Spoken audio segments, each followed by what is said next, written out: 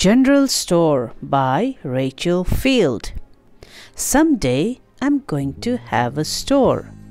With a tinkly bell hung over the door, with real glass cases and counters wide, and drawers all spilly with things inside. There'll be a little of everything. Bowls of calico, balls of string jars of peppermint, tins of tea, pots and kettles and crockery, seeds in packets, seizes bright, kegs of sugar, brown and white, sarsaparilla for picnic lunches, bananas and rubber boots in bunches. I'll fix the window and dust its shelf and take the money in all myself.